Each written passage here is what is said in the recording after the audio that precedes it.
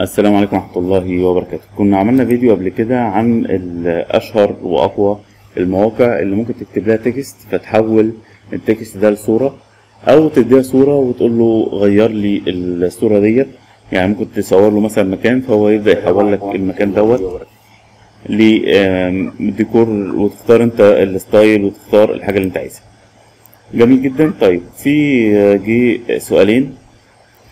طيب السؤال الأول آه طب لو حبيت أعمل لقطة تانية من زاوية مختلفة وتكون نفس ال style هتبقى إزاي؟ في- طبعا إحنا اتكلمنا عن أكتر من حاجة من حاجات الذكاء الاصطناعي.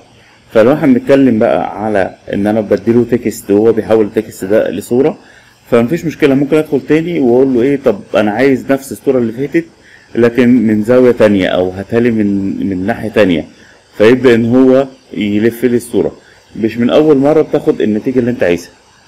لازم تكتبها وت- ومع التكرار ممكن تيجي معاك من أول مرة يعني مع التكرار خلاص أنت فهمت إزاي تقول له أنا عايز حاجة معينة فتبدأ الموضوع يبقى سهل معاك.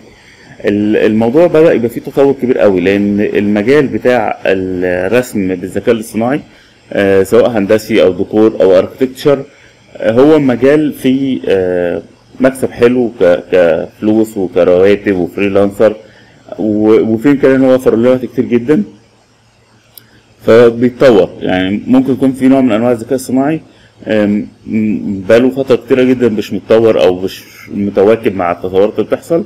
لأن عدد اللي مهتمين بيه قليل مفيش اهتمام بيه ما فيهوش مكسب فتلاقي مفيش اهتمام. لكن دلوقتي في أكتر من حاجة في مثلا لو أنت عندك blueprint أو رسومات هندسية تقدر إن أنت تعمل لها render وتوريها للعميل ولو بقت كويسة ممكن نكمل فيها وتقدر تطلع لك في ثواني. بدل ما تقعد تشتغل عليها كذا أسبوع ولا كذا يوم لا في ثواني طلعت معاك. فعندنا ال- الموضوع ال ControlNet وال image to image في تطورات كتيرة. ممكن تكتب prompt يبدأ يطلع لك ال- المبنى. ممكن تقول له أنا عايز آه، باسامي شركات. يقول لك أنا عايز مثلا حاجة زي ايكيا أو حاجة زي اتش ام هوم أو حاجة أو ممكن مهندس معين أو رسومات فنية أو كاميرات معينة أو عدسة معينة كل الكلام ده ممكن تكتبه فتوصل للي أنت عايزه مباشرة. يعني فرق كبير بين حد يدخل يقول آه، أنا عايز تصميم بيت مصري ويسكت. واحد ممكن يقول أنا عايز تصميم بيت مصري كأن زها حديد هي اللي مصمماه ويكون آه، في مثلا حاجات معينة وعايز يضيفها في كاميرات معينة أنا عايزها realistic فكل ما بتديله تحديد اللي أنت عايزه بالظبط يعني أنت فاهم أنت عايز إيه؟ هيجيلك حاجة كويسة جدا. تقدر تحط تصميمات معينة كأنك أنت قعدت مع الناس ديت خلي بالك كل ما يكون شخص مشهور كل ما تلاقي الحاجة آه، واقعية. يعني لما تقول له مثلا آه، نورمان فوستر آه هو شاف رسومات كتيرة ليه فيقدر إن هو يجيب حاجة. ناس بتسال عليه على مستوى العالم. آه مثلا زوها حديد فيقدر يجيبها لك بشكل حلو. لو كتبت له اسم معماري مثلا أنت معجب بشغله لكن هو مش مشهور وممكن يكون أحسن واحد في الدنيا بس هو مش معروف أو مفيش حد عمل الموضوع ده قبل كده مش هيجيب لك النتيجة قوية لأن هو ممكن ما غير غير صورتين ثلاثة فما يعرفش ي- يكون منها صورة كويسة. هيطلع لك نتيجة لكن هتطلع النتيجه آه، فقيره جدا يعني. طيب آه بالمرة نشوف السؤال التاني. لك يا مهندس قياسات الغرفة بتكون غير صحيحة في التصميم؟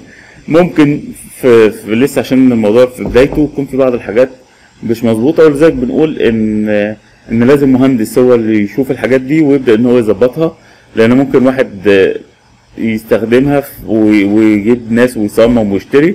ويفاجئ ان مش هي دي بالظبط يعني هي شكلها حلو قوي لكن غير قابله لل- للتنفيذ. فدي فرصة إن المهندسين برضو إيه آه، يشتغلوا إن شاء الله. المواقع دي مجانية أو مدفوعة؟ المواقع دي بيصرف عليها كتير قوي في الذكاء الصناعي.